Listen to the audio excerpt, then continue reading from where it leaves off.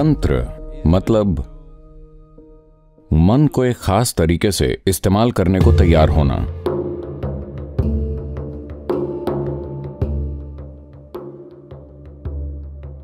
तांत्रिक प्रक्रियाओं के लिए विस्तृत कल्पना शक्ति की ज़रूरत होती है। एक बहुत परिष्कृत स्तर की विस्तृत कल्पना। एक बहुत परिष्कृत स्तर की विस्तृत कल्पना की उस हद तक ज़रूरत होती है, जहाँ वो अभिव्यक्त हो जाती है। तंत्र मानसिक प्रक्रिया को ठीक भौतिक प्रक्रिया की तरह ही बनाने की कोशिश कर रहा है। कल्पना को इतना प्रबल बनाना कि कुछ समय बाद यह भौतिक की तरह हो जाए। आप असल में कोई भूत बनाते हैं, या आप भगवान बनाते हैं, दोनों ही संभव है। दोनों संभव हैं। जिस भी किस्म का रूप आप चाहें, उसे आप असल में बना सकते हैं, प्रकट कर सकते हैं और उसे चला सकते हैं। पता है, मैं उस समय शायद, पहली कक्षा में था मतलब मैं पाँच, छह साल, छह, सात साल का था। मेरे ख्याल से मैं दूसरी, तीसरी कक्षा में रहा हूँगा और मेरा एक चचेरा भाई था। वो किसी काम का नहीं था। तो उस समय, मेरे मन में, मैं जैसे अगर मैं ऐसे बैठा हूँ। I am I can be engage in my mind for hours on end without any communication with any body because I am setting up all kind of things तो मैं मैं अपने मन में घंटों खोया रहता था। किसी से कोई बातचीत किए बिना। क्योंकि मैं हर किस्म की चीज़ें गढ़ता रहता था। तो मुझे मैसूर का चिड़ियाघर इतना पसंद था कि मैं अपना खुद का चिड़ियाघर बनाना चाहता था। तो मैंने अपना चिड़ियाघर डिज़ाइन किया। मैंने उसे चिड़ियाघर नहीं कहा, वो अपने आप की एक दुनिया थी, जहाँ जानवर बंद नहीं किए गए थे। जैसे मैं चाहता था, वो हर जगह घूम सकते थे।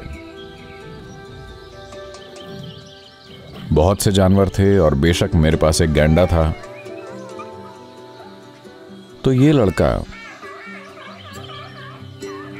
मैं, पता है, एक दिन कुछ हुआ, मेरा चचेरा भाई मेरे साथ था और मैंने उससे कहा, क्या तुम मेरे पालतू जानवर देखना चाहते हो? उसने कहा, हाँ.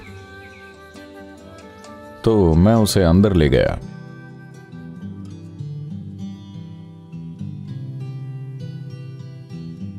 मैं बस उससे बात करने लगा और मैं उसके साथ बैठा हुआ था और उससे मैंने कहा, देखो, ये सब है, क्या तुम इसे देख सकते हो? इसको देखो। वो हर दिन उसमें जाना चाहता था। दो बार मैंने उसे जाने दिया क्योंकि उसके पास कोई ऐसी चीज़ थी जो मुझे चाहिए थी। उसके बाद उसके पास कुछ नहीं रहा, लेकिन वो हर दिन उसमें जाना चाहता था और हर दिन मुझे उसके साथ बैठना पड़ता था और उसे अंदर ले जाना पड़ता था। उसे इसकी लत लग गई थी। मैं ये बता रहा हूँ कि ये इतना असली बन सकता है।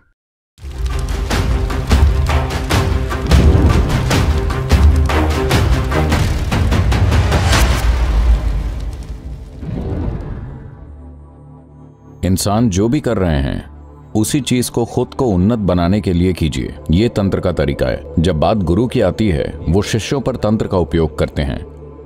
अलग अलग तरीकों से, ऐसे तरीकों से जो वो नहीं जानेंगे। अगर आप इस तरह ऊर्जा के ज़रिए किसी शक्तिशाली देवता के साथ जुड़ जाते हैं तो जो क्षमताएँ उस देवता में स्थापित की गई हैं, वो आपको उपलब्ध हो जाती हैं। किसी दिन आपको वैसा मेरे साथ करना चाहिए, या अगर मैं आपको आकर्षक नहीं लगता तो आप वैसा ध्यान लिंग के साथ कर सकते हैं। तांत्रिक प्रक्रियाओं के लिए विस्तृत कल्पना की ज़रूरत होती है। आप देखेंगे पार्वती एक बच्चा चाहती थी। आपके शरीर से उपकला कोशिकाएँ, सामग्री के लिए पृथ्वी, आपकी अपनी ऊर्जा और आपका मन आप उससे एक बच्चा बना लेते हैं और वो खड़ा हो जाता है। एक बार जब हम लोगों को तांत्रिक प्रक्रियाओं में दीक्षित करते हैं तो हम उन्हें अकेला नहीं छोड़ सकते। क्योंकि तकनीक एक विकासशील प्रक्रिया है। तांत्रिक क्रियाओं या तांत्रिक तरीकों के साथ बदलाव नाटकीय होता है। तंत्र दीक्षाओं की एक श्रृंखला है। अभ्यास से अधिक यह दीक्षाओं की एक श्रृंखला है। जब आप उसमें गए, तब आप कैसे थे? जब आप उससे बाहर आए, तब आप वही व्यक्ति नहीं रहे। क्योंकि तिब्बती ऐसी संस्कृति से आते हैं, जो गुए विद्या से तर है। वो जादू खोज रहे थे। वो चीज़ों को घटित करना चाहते थे। उन्होंने बुद्ध में राकिनी और डाकिनी और हर किसी को जोड़ दिया। तांत्रिक सिद्धांत में हर चीज़ फिट हो जाती है, क्योंकि कोई सिद्धांत ही नहीं है। सिद्धांत जोड़ लेने का है।